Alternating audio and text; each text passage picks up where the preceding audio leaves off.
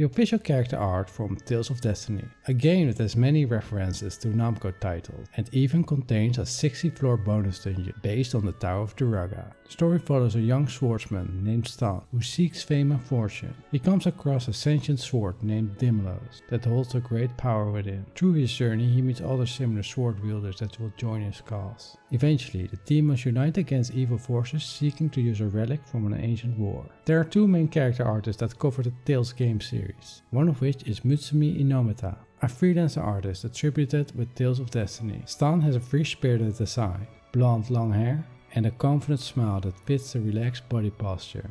Without a doubt, he has a hero persona. Especially with the knight-like armor, he seems to be a stereotypical main character for RPGs back in the day. Furthermore, while most protagonists had long-haired love interest, Rutee has short hair instead, and I think it looks great. She has an agile design, lightweight clothes, basically a thief-like appearance. And guess what? She's a greedy money-hungry girl that fits this persona well but I'm sure she also has a great personality hidden somewhere inside. And if you by chance don't know who Leon is and think that he looks like an arrogant prick, well, that's because he is. He's a prodigy in swordsmanship with an attitude. What I'm trying to say is, Mutsumi did a great job at character design in the first game. Their appearances match their personalities. And some might say, well that's just using plain old generic tropes. Maybe, but on the other hand, archetypes like these easily connect us to a believable story.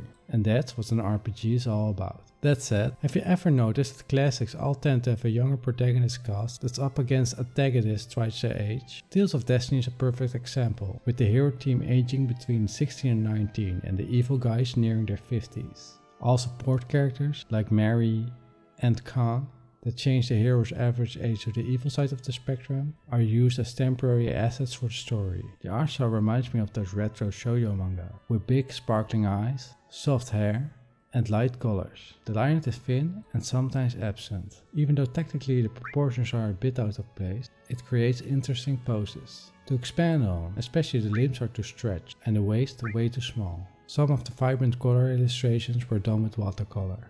Here, you can even see that the colors went beyond the outline. This is likely because she used a wet on wet technique, a moistened brush on a water soaked paper creating strong textures between colors. Other illustrations were done with either pastel or colored pencils, and without doubt she did a lot of mixed media for certain illustrations. I find her full-blown works the best, with some of them embracing the fantasy setting to its true form. In Tales of Destiny 2, the original cast grew older and refrained from becoming evil. Kyle is the son of Stahn and Rutee. He has blue eyes and the blonde hair of his father. Kyle is sent into the future to stop a goddess that wants to bring happiness to humanity in her own deformed vision.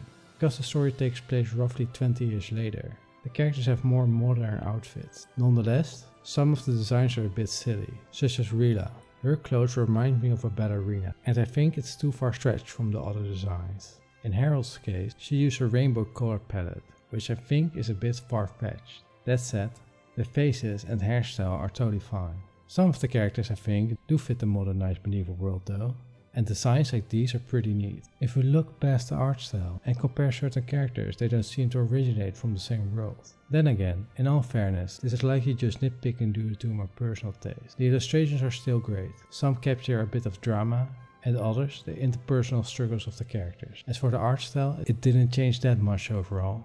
Maybe she favors a bit more contours for some of the pieces, but that's coloring technique dependent as well. Next to the manga that contains 6 volumes, some of the heroes did a cameo appearance in other games such as Tales Versus, Tales of the World, Namco X Capcom, and Tales of Syria. I'm fancy for also GP folks. I've seen many game art books that showcase concept illustrations. However, the amount of art shown here went above and beyond passion, and I think that's really inspiring. Want more of the Tales series? I got you covered.